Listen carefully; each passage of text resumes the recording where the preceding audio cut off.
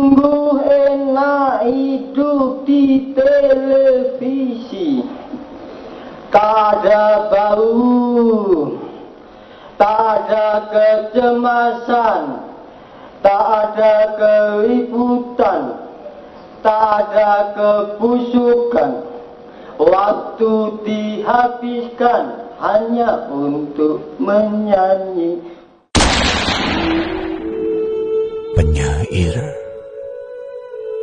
memang mesti mati dalam keadaan muda.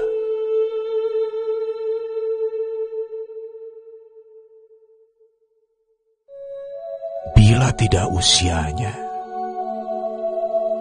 maka jiwanya yang tak pernah menua.